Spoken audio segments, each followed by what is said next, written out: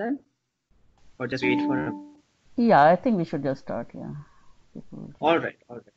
Thank you, everyone, for joining us uh, in, in, these interesting and uncertain times.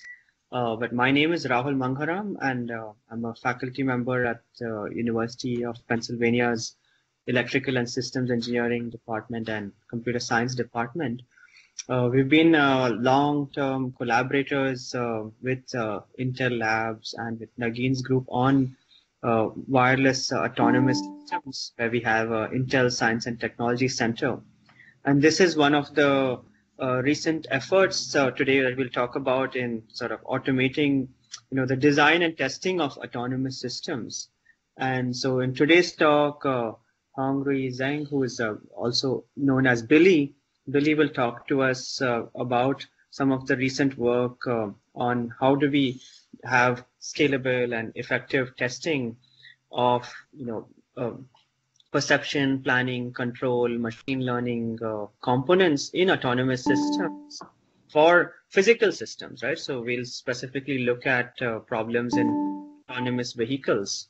And uh, so Billy will present one of the tool chains that developed for uh, uh, optimizing, you know, autonomous uh, vehicles in the context of autonomous racing.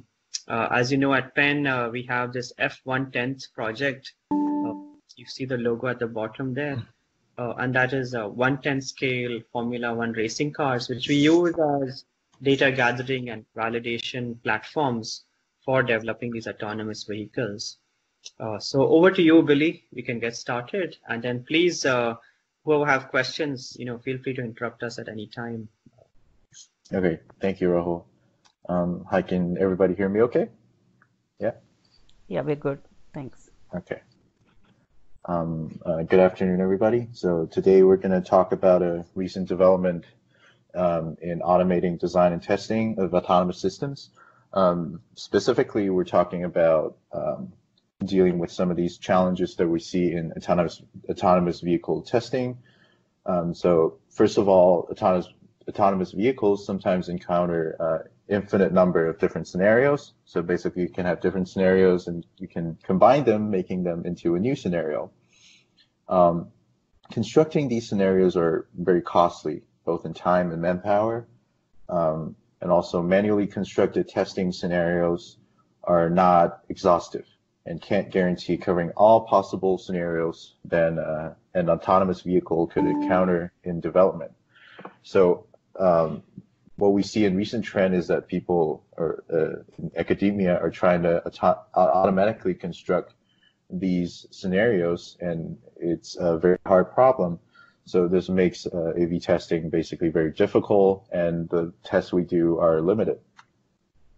Um, so another challenge is that uh, in all these scenarios, when uh, autonomous vehicles encounter unique scenarios that was not seen in simulation, um, testing these scenarios with a prototype is impractical. Right? Basically, if we have an on-road prototype that uh, rarely see these conditions, uh, and we want to set up a scenario specifically for this, these conditions, are very dangerous and costly. And lastly, uh, human errors. Uh, from this picture here, uh, as you all know, the Uber incident, where it, it was basically introduced by, it was caused by human errors. And as we all know, as you uh, increase the sample space of your testing, um, human errors are inevitable. Right? Testing could lead to endangerment of even human life and uh, usually expensive equipment. Um, so this makes autonomous vehicle testing very dangerous, where a small error could sometimes lead to a catastrophe. Right, so why do we want to narrow this problem of uh, automating the design and testing down to um, autonomous racing?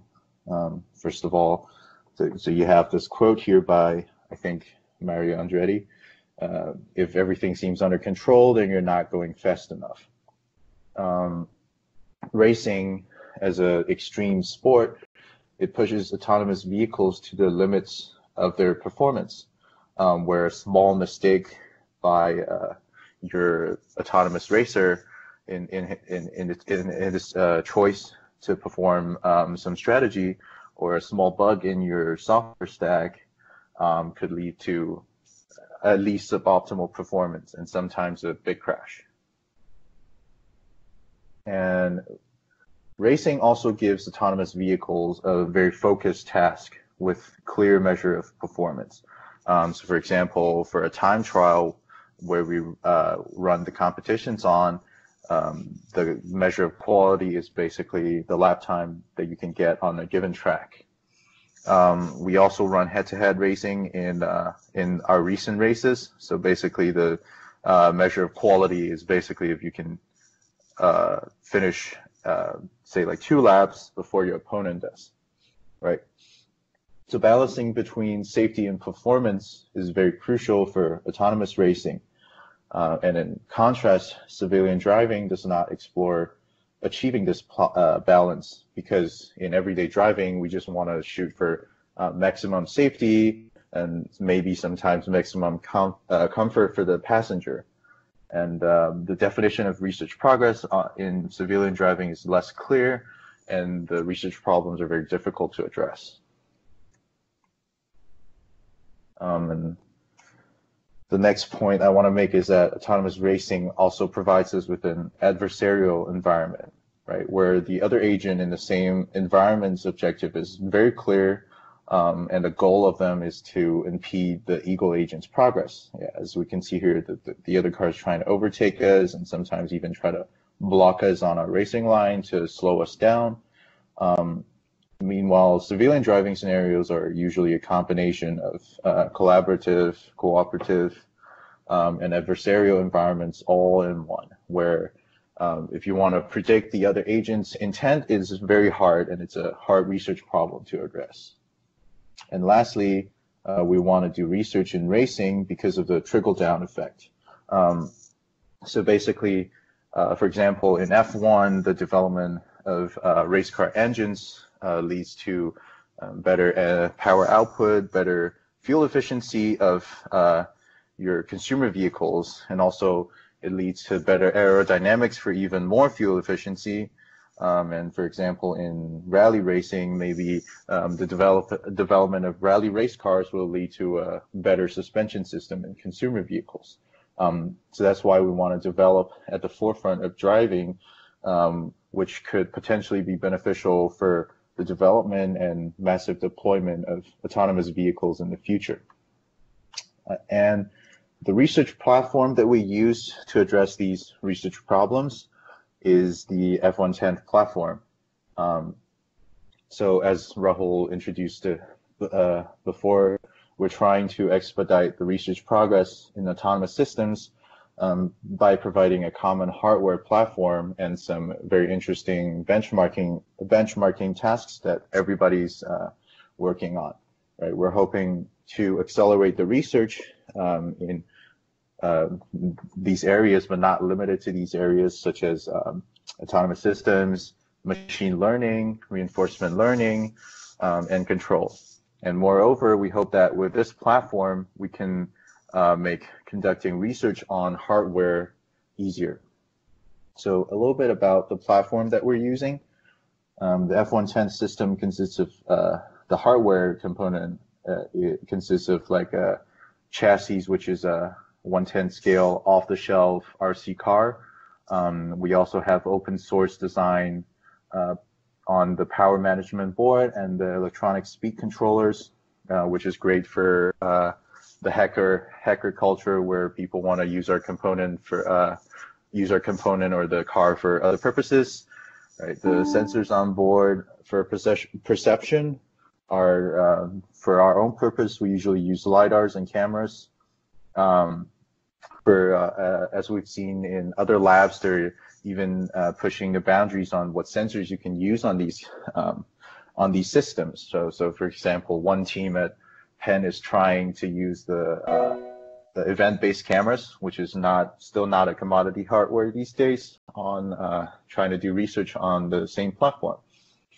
Uh, and lastly, we provide an open source software stack where it's very easy to explore all components of uh, autonomous systems, where basically we provide you with a basic driving stack, and the com compute unit on board is capable of doing uh, accelerated libraries on the GPU, so you can develop your own uh, algorithm on top of the basic driver stack.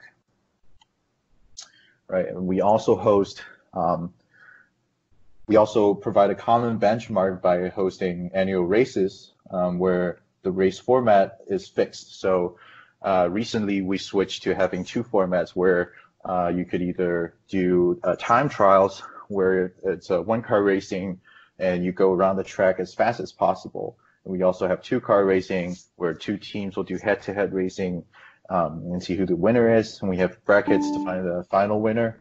Um, so the the environment is the same for all the teams, and we don't tell any of the teams beforehand what the map is going to look like. Um, so they have to adapt to different environments for the same objective. Um, also, there's a great community support for the project. Um, if there are any questions on the subjects that, uh, as a, the development team cannot answer, as in uh, we're not experts in, um, there's also a large research community um, that has experts in many different areas that can help. Uh, for example, this is a video of the race that we recently ran uh, in New York City in Columbia.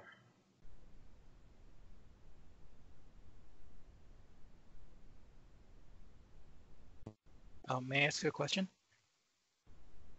Uh, was there a question? Yeah, um, can you hear me? Yeah. Yeah, I was wondering what's included in your starter kit? Uh, so the starter kit, uh, we have the we have basically the open source design um, of the whole vehicle. So we're currently uh, updating our build manual uh, these few weeks because we're online now. So it has the it has a BOM which shows you all the components or the base components that you can buy. We provide uh, links and we have a price for that. Um, the power board, you can buy the PCB from uh, like Osh Park and you can solder your own with uh, components from like DigiKey. Um, so basically the base configuration has um, this hardware, this uh, chassis platform here, and there's a top plate that's laser cut where all the uh, TX2, uh, this is a basically the Jetson system, uh, the the ESC, and the power board and the perception unit. Uh, so the base one only has a 10 meter planar LiDAR. So that's what comes with the starter kit. And we also have a few uh, basic, uh, basically the driving software that can get you started with. Thank you. Right. Also, I think we have yeah, just, one in the lab. Uh, yeah, I think uh, it, mm-hmm. yeah, Intel Labs have a couple of these cars. Also, we have a full full blown course, online course for uh, starting from uh, you know for a whole semester long, from perception, planning, control to learning to computer vision, and we cover all of these topics uh, within that course. And everything is uh, is online, and I can share the link with Nageen. But most of that information you can get on f1tenth.org and uh, we'd be happy to help uh, you know chat with anybody at Intel Labs. Thanks. Yeah, thanks. Okay. Try to forward. So as you can see, this is a race that we ran, and we have uh, I think around 15 teams this time.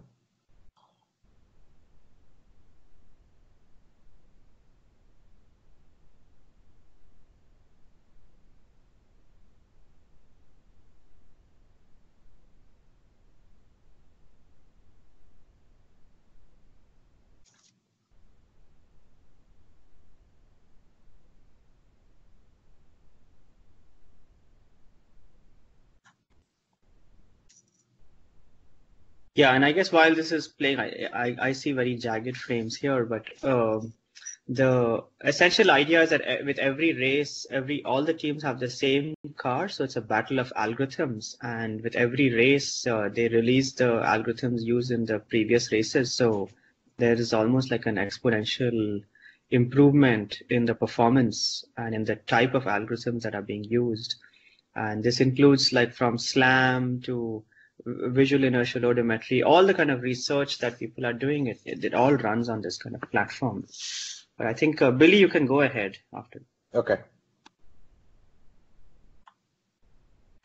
All right, so um, next we're gonna go in depth. Um, so that was all the background information for this research project. Um, and next I'll present a project that we recent, recently submitted to ICRA. We're calling it TunerCar. Um, so basically this is super optimization for autonomous racing. Um, so the goal of this project was to optimize for maximum maximum performance for a given race car on a given racetrack. Um, where we also want to bridge the gap between simulation, uh, basically the one you see on the left, where the lap time is slowly improving, and we want to bridge the gap and transfer the same policy that we find in simulation and put it on the real car, as you can see uh, on the right here. Um, so a little bit of background on how we got motivated to start working on this project. Uh, basically, tuning of these uh, uh, autonomous race car is a problem that we see very often in our um, annual F110th racing events. Um, so tuning these race cars for a new track is slow, it's inexact, and the participants usually spend days going through trial and error to find a good configuration of software and hardware to get a good performance.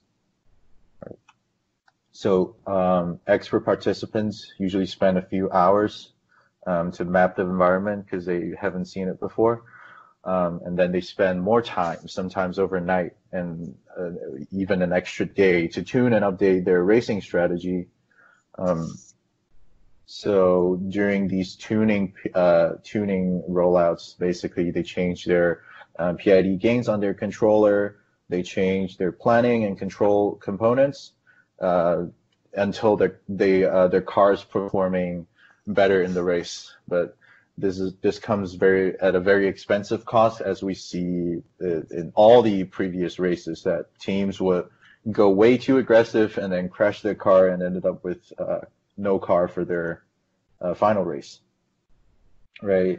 And lastly, sometimes even the the vehicle's physical characteristics are uh, are adjusted. So basically, the cars you see are not toys, right? They're a very accurate re representation of a actual uh, autonomous vehicle. You can adjust the stiffness on the suspension spring by using different springs, or you uh, you can adjust the height, the ride height of the car, right? Teams uh, sometimes even adjust the weight balance, um, and even the toe and camber of the front steering wheels, because um, the cars have uh, actual Ackermann steering and this whole problem of slow and inexact tuning motivated us to create a tool chain where all these parameters are optimized and tested automatically. All right, so a little bit about the problem. So what are the issues? Um, the first of all, there's just way too many knobs to turn, right? So th this autonomous racing problem is basically a subset of problem where um, you have a very clear objective function that you want to uh, that you want to either maximize or minimize, um, and you have sometimes thousands up to ten thousands of parameters that you can tune. Um, so it's just way too many knobs to turn by hand uh, or tune by um, even experts, which brings us to the second point where traditionally these tuning are done by experts by hand, which is not ideal. Um, for example, uh, a postdoc uh, in our lab is working on a problem. Uh, uh, he's a he's a he's a research engineer from Hyundai, and basically he's trying to um, come up with a new approach where they tune the balance for an uh, engine unit where they want to find a good power output while maintaining required uh, fuel efficiency, basically. And he said um, there are around up to like 10 thousands of parameters that you have to tune. And uh, in at Hyundai, basically what they are still doing by uh, till like to, to this day, it's, they're still tuning. Um, the, this tuning is still done by expert engineer with uh, apprentice engineers, which is seems uh, it's a lot, it's a little outdated.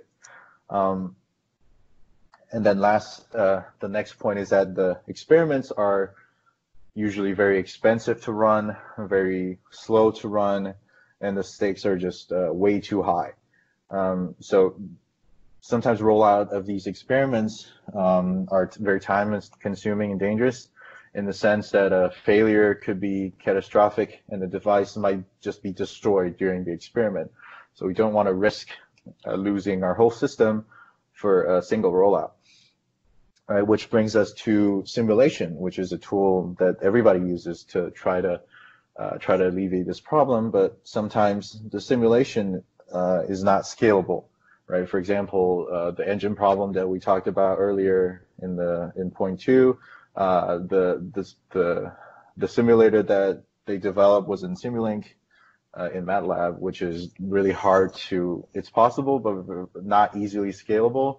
Um, so one of the contribution of this work is that we um, we created a simulator with uh, a dynamic model that's accurate enough that we uh, we'll also talk about uh, how big the reality gap is in the results section. Um, basically, what we what we chose to do was to implement it with the very popular uh, OpenAI GYM uh, APIs, which is in Python. Uh, the backend is in C++, which makes it still very fast. And the API is in Python, which is friendly to um, a lot of the machine learning or reinforcement learning community, where it's also very easily scalable. So just one clarification. Um, you seem to be implying that the design of the car is also something that you're optimizing for, not just the autonomous driving components of it. Is that yeah? True? So not the not the big part of the design. Say like the we're modifying the basically the weight distribution of the car uh, and the the uh, overall mass of the car, and I think the uh, front and rear cornering stiffness. So it's parameters that you can actually tune on the car and not like a structural design of the car. Okay. Okay. Um, and continuing the issue section, um, so we have these types of problem. One one uh, question. Uh, your OpenGym is uh, how uh, are you aware of uh, Carla simulator? Intel has an open source software. Uh, um, Rahul yeah. knows about that and how that is compared with the OpenGym. what are the so, features available and yeah. Um, so the the basically Carla and I think AirSim will require a, basically a graphics engine such as Unreal um, to run the simulation. Uh, it's a little bit too high fidelity for our problem because we on on these cars the research problem we're looking at right now mostly uses a planar lidar, which is Carla is kind of like an overkill for us. Which uh, if we use Carla for this problem, we're basically wasting resources on uh, rendering the images. Um, so another version of the simulated, uh, back to the OpenAI, sorry, back to the OpenAI GYM version of the simulator that we have, we basically have 2D phys physics. Um, it's not multi-body like in Carla where the whole car is uh, operating in the 3D world.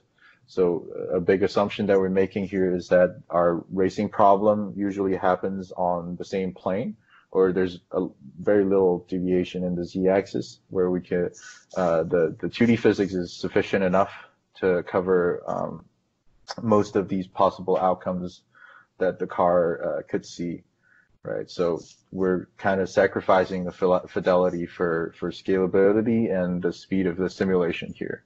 Um, so a future direction that we're taking right now is to um, plug into the Unreal rendering backend where um, you're still stepping the 2D physics, which is uh, deterministic, um, and then you're requesting a rendering of, say, a camera image from Unreal. So in the end, you'll you'll have an OpenAI GYM that can uh, step the car physics and also provide you with a 2D image that's already rendered instead of uh, simulating the whole environment and the physics interaction between the car and the environment. Does that answer your question? Uh, yep, yeah, thank you. Yeah. Um, I think we can have um, more discussion offline. Uh, yeah, uh, go ahead. Okay. All right. Um, so the, the this work is also uh, motivated by uh, the these types of problem usually within research of machine learning or reinforcement learning where we see there are hardware components but it's very specific to a pre-configured environments uh, and a hardware platform uh, for example, for all the ARM type problems that we see in reinforcement learning these days, um, the arms are so good because they're tuned extremely well for um, so basically the algorithm sometimes only work on that single arm. It won't work say if you change out the hardware or even a slight change in the environment. So we want to create um, sorry uh, basically we want to create safe and re reusable core autonomy components right namely uh, the vehicle and environment agnostic planning and control software, right? As you can see, like uh, the, the, the planning stack should still perform the same no matter what environment you're in and what vehicle hardware that you're using. Um, also, racing in this context is a mechanism to create a competitive environment where the quality of the chosen vehicle configuration has a very clear measure of quality Right? For example, in the tuner car, the tuner car project space, uh, the case, it's the lap time that you go around the track. Um, racing conditions are also uh, very frat, uh, very brittle. Basically, uh, it severely punishes suboptimal vehicle configuration, right? Um, while nominal conditions may be handled even with poorly integrated components, um, the racing racing conditions, on the other hand, if you have a, a suboptimal racing strategy, um, such as the path and speed selection and controller parameters, you're gonna you're gonna achieve uh, suboptimal results. Um, so why is this important? Uh, there are several points that I think we uh, TunerCar can potentially address. Um, first of all, is it drastically saves money and time spent on tuning a high dimensional system, right? Each run of the toolchain on the new track doesn't require any supervision. Basically, what I do is I start the simulation and the searching, uh, the parameter searching optimization, and then I leave it running. I don't need to make sure that uh, the experiments are are uh, failing or don't don't require experimentation on real hardware during the tuning process. So basically, what TunerCar does is it searches for good parameters all in simulation, and once you're done, we transfer to the real hardware. Um, it's also an effort to bridge the gap between uh, some of the new novel approaches proposed from uh, the machine learning and reinforcement learning community and try to bridge the gap between those and real hardware. Um, so for example, TunerCar utilizes a black box optimization process that is also gradient free. Um, it's used recently regained popularity because it's being used to search for weights of a neural network, which is a really high dimensional space. Right. Um, also, the extreme testing of autonomous racing problem will uh, push the uh, planning and control algorithms to the edge of their performance, where safety is very crucial um, so we can allow us to, uh, so that allows us to test for robustness and safety of a given control uh, and planning stack. And lastly, so uh, clarification question. So we, I mean, of course, there is this whole uh, drone environment where we also do, you know, a lot of testing before we mm-hmm. actually mm-hmm. move the algorithm to hardware. So mm-hmm. in these solutions versus you know the drone based solutions the main difference is this hardware model and the dynamics of the car or it's fundamentally different i believe so it's only different in terms of uh, um, the hardware model and mm-hmm. also your control stack um, basically if your control algorithm has parameters that we could tune uh, like a tens maybe. So in this case, we only had 3 mm-hmm. um, it I think even up to like 100 parameters that you can tune, which drastically will drastically change the behavior of the vehicle, and it covers a lot of the possible behaviors of a of autonomous vehicle. It, I think it's still viable with our tool chain. The other question is the, the bridging the gap with machine learning. Uh, you mean you mean to say that um, the tuning that you do require uh, uses machine learning algorithms? Is that what you mean or no?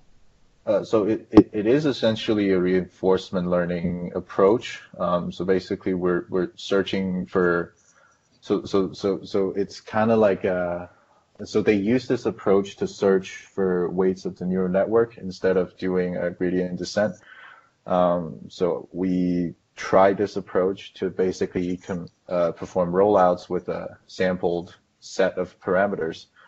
So, uh, and then we do this iterative process until the uh, it converges onto a single solution in this case. So it's, I mean, this is more for the, the, the greater goal of F110, I think, because we're the, the point is that we're providing a, a common hardware and common benchmark where um, you know everybody could test um, the performance on the same benchmark, which we know is very beneficial. Like uh, ImageNet is great, greatly boosted the the uh, computer vision community, I think, in the early days and then now the autonomous vehicle community has all these uh, benchmarks like the Carla ones, um, which also helps everybody to have the same benchmark to actually test uh, useful uh, use cases. Oh, okay. So uh, it's really for developing new machine learning algorithms to control the car and having a common platform to allow those algorithms to be tested. Yeah. Okay, got it. Yeah. So so TunerCar is basically an example how we're trying to uh, push for this effort of doing that. I have a sort of related question to the first question. So you said there could be more than like 10,000 parameters or 10,000 knobs. How do you create those relationships or that learning as to what impact one has, even for your model? Like, what's the process?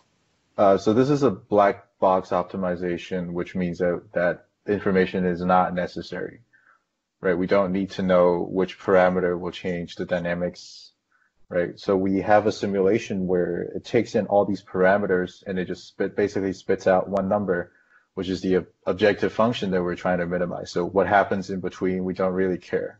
Um, I'll, I'll, go into more detail oh, okay. in, the, in the optimization process on how this works. Okay. Yeah, and again, just to add to what Billy mentioned, so we, we do use like some basic uh, learning algorithms within this approach.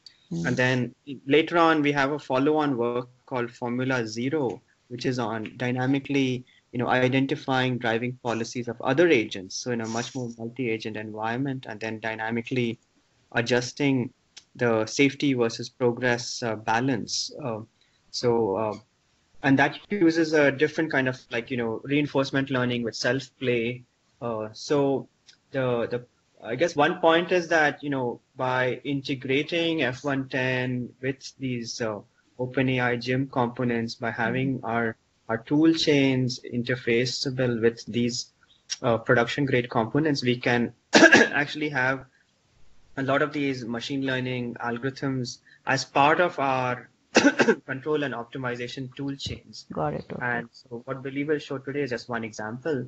Uh, and there are follow-on papers that have other examples.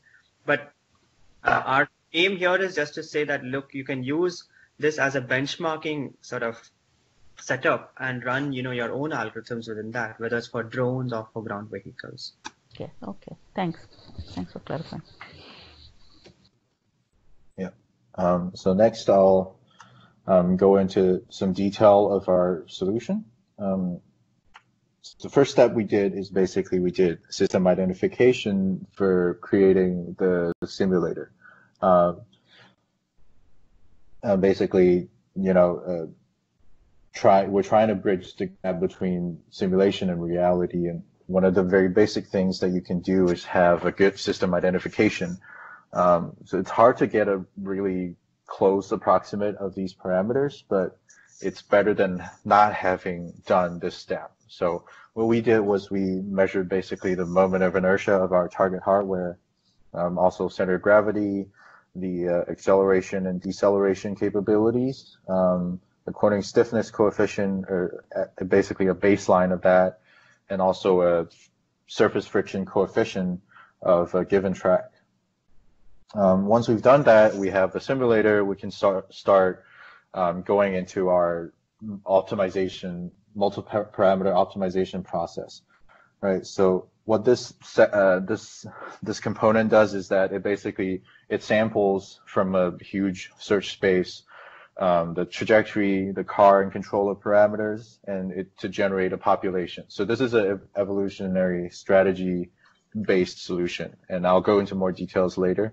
Um, so basically, it randomly samples to generate populations, um, and it spawns multiple evaluation instances to basically get the objective function uh, of each of these uh, member in the population. Right. So once we go into each instance, it also finds the optimal velocity profile for a given race line uh, by solving a convex problem. Um, and then it, it, sends the corresponding physical and controller parameters and the trajectory that the car needs to travel on to our simulator. So each of these instances will have its own simulator um, with its own parameters running independently.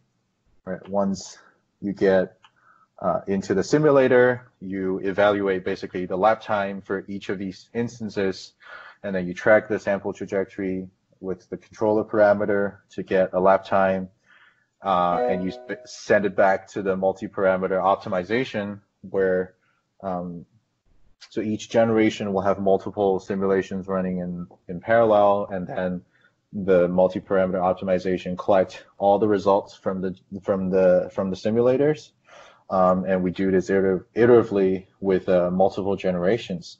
Um, and once the lap time, or um, we'll talk about how we model the the covariance or, or the spread basically in the sample space. Um, once the population converges to a good solution, we basically move on and take that solution and put it on a real car, a real track, and we do validation. Um, all right, now we're going to go into more detail of how we actually implemented this tool chain. Um, so basically, tuner car, we uh, we formulated this problem so that it optimizes a parameterized version of the racing strategy or the race line um, the controller and the vehicle dynamics. Um, as I said before, the objective function um, of this problem is uh, very straightforward. Uh, so mathematically, we define the objective function as a lap time, where it's basically a function that maps from the n dimension of your search space to a real number. Um, the search space is parameterized by theta, which is the basically the concatenation of the three components, uh, vehicle dynamics, racing strategy, and controller. Uh, and we'll next we'll go into details on uh, what the search space looks like. Uh, first of all, the thing, uh, the the biggest part of our search space is the nominal race line. Um, so there are a few requirements for parameterizing the race line. Um, so first of all, it should be easily sampled, which means that it probably should be a vector of real numbers with uh, upper and lower bound on each element of the vector so that you can randomly sample a vector very easily and you can control the sampling uh, scheme. It also should allow for good coverage, sometimes the full or close to full coverage based depending on the shape of your track because um, we don't want to accidentally miss out on a good race line. And it should be easy to check for boundary violation. What I mean by that is uh, it should be easy to check if your race line is going into the wall of the track. Um, so what we did is, first of all, we basically divided up the drivable surface of a different track into equal size rectangular boxes, as you see in the figure here right? So we're covering the track with all these uh, rectangular boxes to cover as much surface as possible. So you can see there's some overlap. of these boxes. Uh, and we zoom in, for example, it'll turn, it looks like this. Um, so how we sample for a nominal race line is that after all the boxes are drawn, we basically sample a 2D point uh, inside each of the boxes, right? So one point for one box, and um, we keep track of all the transformations, basically the frame transforms from all the boxes to our map frame, and then we're sampling basically in the boxes frame. Um, so these rectangular boxes, we know the width and the height of the boxes. Uh, so it provides us with an upper bound and lower bound on what the x and y coordinate value of each of these uh, single 2D points could be. Um, so a race line could be sampled by sampling, uh, if we have n boxes, we'll sample n points. Um, so for with both x and y, this basically means that we have a r to the 2n sized vector that define, defines the control points for the race line. Um, since we're covering the whole track uh, with boxes and basically the control points, you're uh, it's not a guarantee, but it, it's a it, it allows for good coverage to make sure that at least you're sampling control points inside the racetrack, and uh, hopefully it will cover uh, the splines that it generates will cover most of the track uh, drivable surface, right? Also, um, since we're using a spline formulation here, it's very easy to get the coordinate of a single point on the trajectory or, or the nominal race line. It's really, and then it's really easy to check for boundary violation uh, to see if it uh, intersects with the edges of the racetrack. Um, after all the all the points are drawn, we can basically form a spline uh, using these control point sample. So for example, in the picture on the right here, we have all these yellow points, which are the sample points that are from the boxes. Um, and then we generate a spline going around the track using these points. Um, so the spline might or might not go through the control points uh, based on uh, what kind of formulation formulation of spline that you use. So in TunerCar, we used a third order B-spline to create these splines. And uh, next, we're going to the next section of the search space, which is the physical parameters of the actual car. Um, we also search over physical parameters, um, specifically the ones that could be easily tuned on the fly. Uh, for example, the ones we did was uh, overall mass of the vehicle. Um, we also search for the weight distribution. So basically, this what, what this does is it's moving the center of gravity toward the front or the rear of the vehicle. Um, we also had two other parameters that are the front and rear cornering stiffness of the vehicle, where we change the stiffness of the spring, or we could use different um, tire types. So that's, uh, excuse me. This adds four extra dimension to the search space. Um, and then last, lastly, we are also searching over MPC and tracking uh, parameters that basically changes the behavior um, of the controller. So this adds three more dimensions to the search space, and I'll explain the, the graphic here.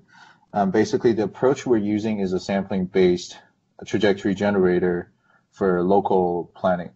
Um, so the first step of this process is basically sampling a bunch of goal poses, as you can see in the blue uh, squares here. These are all possible goal poses that you use to generate the trajectory. Um, and then all of these uh, cubic spirals are basically the generated trajectory. Um, oh, so sorry, a quick uh, clarification question. So when you say sampling points, do you mean you choose those are all the different points where you try to put the vehicle and see what happens to the trajectory? Uh, yeah, so this approach, so so the sampling scheme I'm using here is uh, basically a regular grid, right? So uh, you basically tr- generate a trajectory for each of these points. I think some okay. of these are too far away for it to have a trajectory, but yeah, for each pose we have a trajectory. Okay. Um, so the first number, so, so there are two of these uh, uh, distances, look ahead distances that are involved in changing the behavior of these uh, trajectories. So the first one is the look ahead distance that controls um, how far along the racetrack that you're sampling these points around, right? So if you have a shorter look ahead distance for the trajectory generator, then your blue grids will shift back towards the car. And uh, if you have a bigger one, it will move along the track more to the left. Um, and then basically after you uh, sample and generate all these trajectories, we can see that I'm also checking the feasibility of these trajectories. Basically, the red ones are all ones with collision on uh, some point on the trajectory that it collides with the wall. So only the uh, the green one and the blue ones are feasible ones without collision. Um, so the after we select a trajectory that we want, uh, in this case, in tuner car, we used the least deviation from the nominal race line as our, as our uh, basically the cost function to choose which trajectory to track. But in later work options, um, once you have a selected trajectory, you also need uh, so the, the, the algorithm we use is pure pursuit, which is a ge- geometric tracker. Uh, if you give it a trajectory, it basically converts that to steering input for the car. Um, which means that you have to select a single point on the trajectory to track. So that's where the second look ahead distance comes in. Um, so this will also change the behavior of your car. Uh, as you imagine, if you have a bigger look ahead distance, right, along the trajectory, uh, you might preemptively steer more toward the uh, that point on the trajectory to get to that lateral position, right? So if you, uh, for example, if your car is over here and you're look ahead point is already on the left. Um, a larger look ahead distance will mean that you're cutting the corners of a racetrack more. Um, and lastly, we also uh, included a gain on the optimal velocity profile. So basically, we're also searching for if we can slightly increase the velocity profile or slightly decrease it, uh, to see if we can sort of compensate for the discrepancy between the model that that's used and the speed opt. Uh, I will talk about that a little bit later. So that's a off-the-shelf uh, convex problem solve uh, convex problem that solves for uh, uh, optimal velocity. So we're trying to compensate for the difference between the model that they use and the actual model that we have for the car. Um, so that concludes the whole search space. So we're searching over most of the things that uh, we can tune for these uh, 110 scale race cars uh, for this specific uh, model predictive control scheme. Um, so at the end, we're searching in around R to the 2n plus 7 dimensional space. So for some of the experiments that we're running, n is around 250 to 300. So this is like a 600, 500 to 600 dimensional vector that we're searching in. Um, next, the velocity profile optimizer that I, that I mentioned is a off-the-shelf work done by Stephen Boyd. So basically, given a spline or the XY points on your race line, uh, given the basic physical parameters, um, which is uh, the surface friction coefficient that we cannot tune, which is given by the track, and then the two other things that we could tune, the weight and weight distribution of your vehicle. Um, you basically solve a convex optimization problem to solve for an optimal velocity profile along this race line. Uh, I won't go into details on this convex problem. Um, if you're interested, the paper is listed here. And lastly, we need to talk about uh, what is the evaluation criteria for, for this optimization process, right? Um, since in this in this case, one car racing gives a very clear measure of quality, the lap time, as we mentioned before, we're going to use this as the evaluation criteria, and this is where the simulator will come into play. Um, we'll go into that uh, in a later section where we talk about the hardware and the simulator of the tool toolchain. Um, but the basic idea is that when the simulator re receives a new sample configuration, the parameters within the simulator is updated, uh, and then the sim simulation environment resets the car and then run the car to try to traverse the track.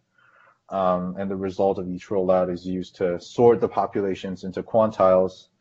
Um, now that we have a very clear evaluation criteria, we can start looking into the gradient-free optimization um, that we use for tuner car. Um, our proposed optimization problem is high dimensional, uh, non-convex, and it lacks a closed form expression of the dynamics. As we, uh, as I said before, this is a black box optimization where I don't really care how an input parameter change my uh, relationship with the dynamic model of the car and how it changes the behavior um, of the vehicle along the track. I only care about one thing, which is the lap time that the vehicle is able to achieve. Um, so this approach that we're using is based on evolution strategies. Um, basically, these are a type of optimization algorithms inspired by uh, natural selection. It was created in the early 90s, 60s, and 70s, I think. Um, uh, in the beginning, it was only used for like tabular RL problems where you can't really run any experiments on because it because it requires a lot of computational power. Um, so nowadays, with the increase of computing power, it recently became very popular again in deep RL, uh, where if you have a problem that the gradient is not easily obtainable or the problem is non-convex, you can use these uh, ev evolution strategies as a black, black box optimization um, to solve your problem. So the intuition here with uh, is basically we can randomly generate an initial generation of the vector. So the vector that represents our search space that I mentioned before. Um, and then we have a lower and upper bound for each of the uh, element of the vector. And then once we start running the ES, uh, each generation, uh, we can evaluate each individual in the current generation using the fitness function or the evaluation criteria. And then after the evaluation of each generation is finished, we only select the individuals that scored the highest from the current generation um, as the basis to form the next generation. Uh, so one of the really nice things about the, these ev evolution strategies is that these individual evaluations won't affect the score of another evaluation. So the individual evaluation of a single configuration in the same generation, they could be run in parallel. Uh, this will be very useful and by uh, creating basically a distributed computing model to run this problem. Um, the approach that we use here is called uh, CMA-ES or covariance matrix adaptation evolution strategy. Um, it basically maintains the populations of your ES as a Gaussian distribution. Um, the mean and covariance matrix of the distribution are updated using top solutions after we evaluate each population. And to generate a new population, we basically um, sample the distribution to get another new vector and then do it over and over again to create a new generation. Um, so C uh, one of the nice things about CMA-ES is that it takes the evaluation result from the current generation, it adaptively increases or decreases the search space for the next generation, which means that it's basically trading off between exploration and exploitation without using any gradi gradient information. Right. So, for example, in the picture we're showing here, basically this is a toy toy problem in uh, 2D, and uh, so you have uh, basically two input parameters on two axes, and the color of the picture is basically your function value, and we're trying to find uh, the so basically the the the wider points are either higher or lower, uh, depends on your problem, uh, function values, and as you can see that each each dot here is basically a member of your uh, pop, uh, generation or population. Um, so the distribution start out as a normal or, or a, starts out with an initial covariance. So usually this is just the default uh, normal distribution. Um, and then it starts doing this exploration by blowing up the covariance matrix. as you can see, like the spread increases by a lot, right? The spot, uh, the the spots are dots are basically spread across the whole uh, search space, right? And then once uh, you you've done this exploration step, um, and you start to see some very good solutions, you can see that the the the, the distribution basically starts converging to the minimum by decreasing the covariance. Um, so that's the basic idea of the uh, optimization that we're using. Um, and as I mentioned before, the nature of CMA-ES, which is that the individual evaluation can evaluations can happen in parallel. Um, this algorithm basically enables the use of a MapReduce pattern, right? As we can see here, CMAES is basically uh, the ventilator node that draws sample configurations, and then I distribute these evenly to all the workers. Each worker will then simulate the proposed solution and then send only the score and sample index to the sink to update the mean and covariance of the distribution. Um, so basically the communication overhead is also very small because you're uh, basically the most uh, communication happens when you are venting out these uh, configurations. Um, so basically sends out a, a, a high dimensional vector to each worker, but the worker runs their simulation uh, in isolation and basically only sends out uh, two floats back, the, a float and an index back to the CMAES. So we can achieve this parallelization with uh, very little overhead. All right, so that was the optimization section. Um, next, we'll go over the target hardware of our toolchain and the design of the simulator. So I think we are at 1 p.m. Uh, so do you have more slides or uh, we are losing people as we speak? Okay, uh, maybe I'll skip to the results. Yeah, maybe we can uh, go a little later. This is very interesting. Uh, we have a lot of questions, so maybe we can, you know, also follow up in a little bit more detail, Rahul. It seems like a very new um, a new approach and uh, I also wanted to see you know how it compares with your previous formal logic based planning and so forth. So uh, maybe you can go to the results and then we can do a deep deeper dive. Sure sure. Yeah. Thanks. Uh, this is yeah also again you could share the the link to the google drive uh, the google slides with anybody in intel labs because I think the videos don't show up really well on. Right. I will post it. We usually post. And then is there a paper, Rahul, that you uh, submitted? Yeah, I sent you the paper too. Yeah, that would yeah, be great. Yeah. So I will upload it uh, for our SharePoint. Uh, but yeah, maybe we can uh, quickly go over the results.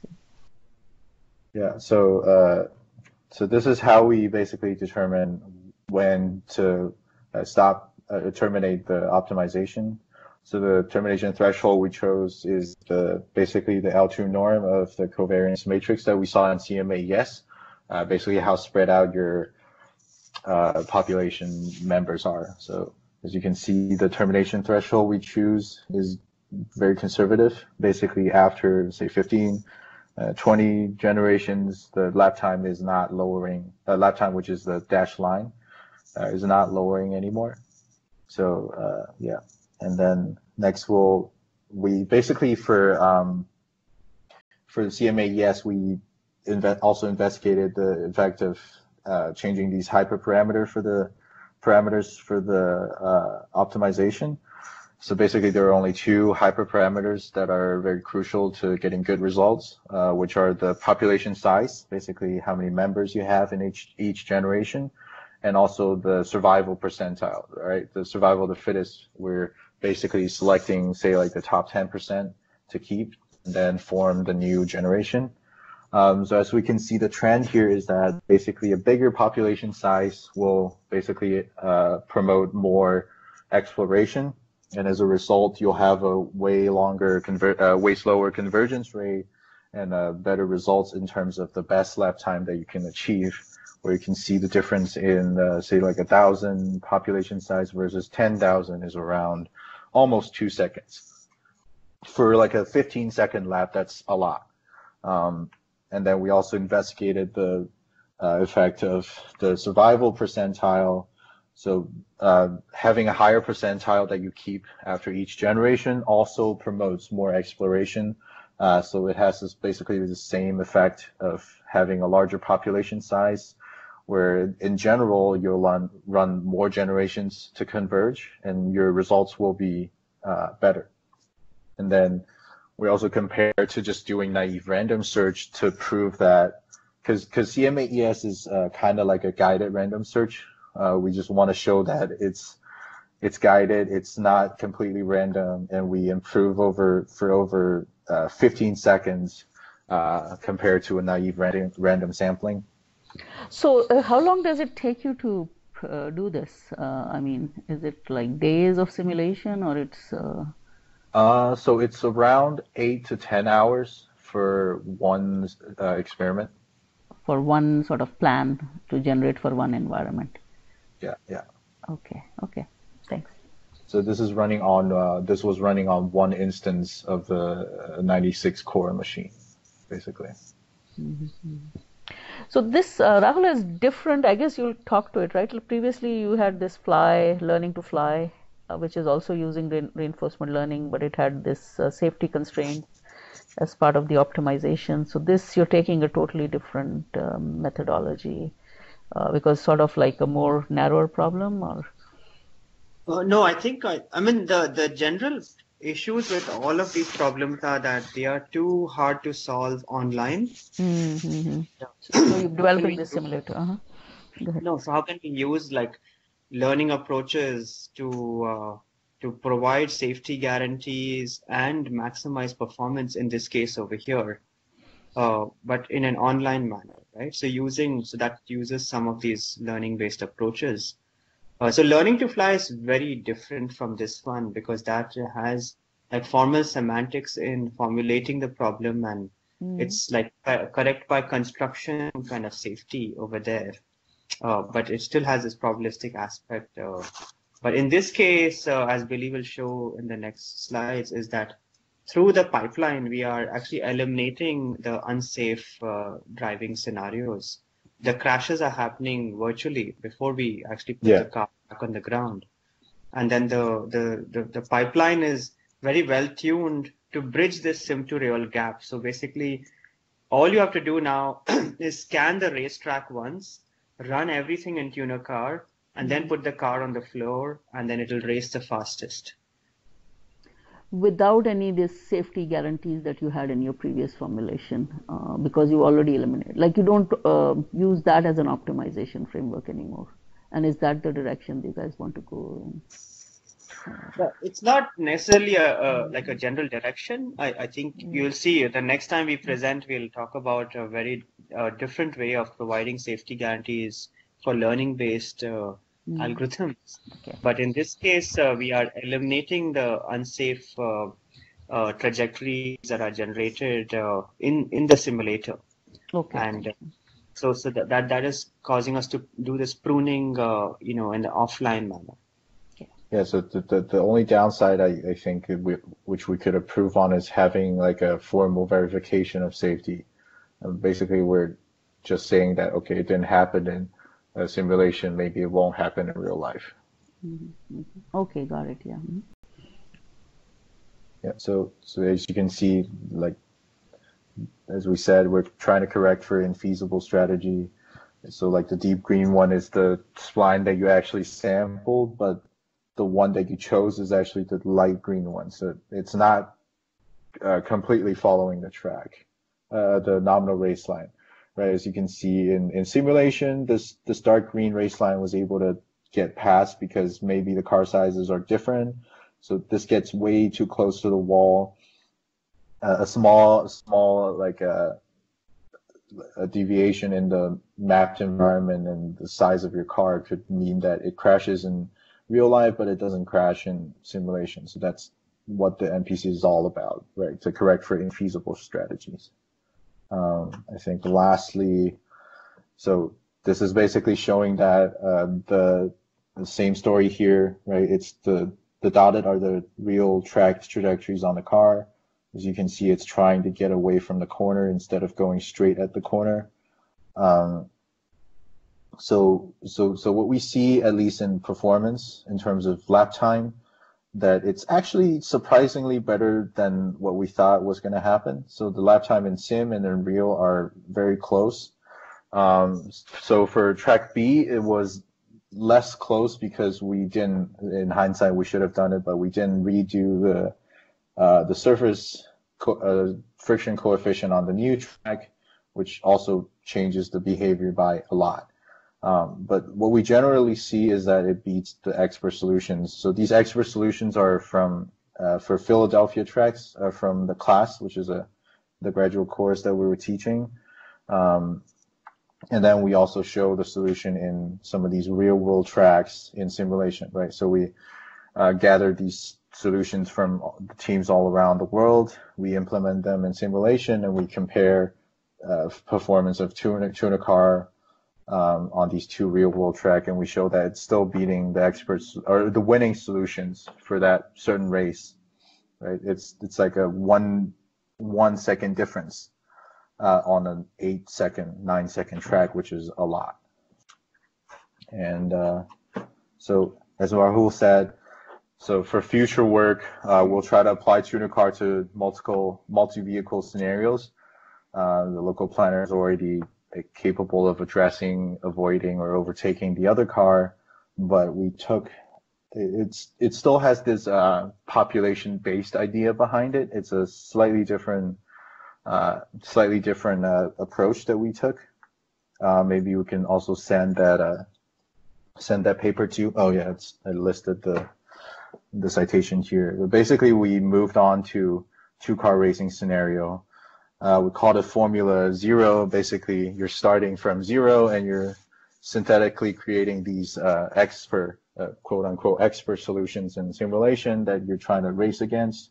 And then online, you're basically uh, solving a multi-arm bandit problem to try to identify who the Agar is.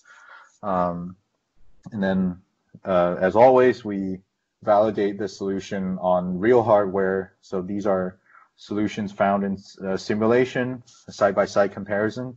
The results are, uh, so we didn't really compare the lap time here because in multi-car racing, the objective is slightly different. Uh, you don't care about lap time as much. You care about actually beating the other guy. So as long as you beat the other guy, even if you have a lower lap time, you, you still win. Um, so what we did was we compared like the regret uh, in the multi-arm bandit problem, um, and then we see that it's actually, although it's slightly different by where the the, the uh, convergence is slower than in simulation, but we're still uh, getting closer results. So yeah, if you want more details, the paper is listed here. This is uh, the work we recently submitted for ICML. Uh, that's it. All right, thank you very much. This was very, very comprehensive and, uh, you know, seems like very, very interesting work. Uh, so questions, I guess we've lost a few people, but uh, people remaining have questions.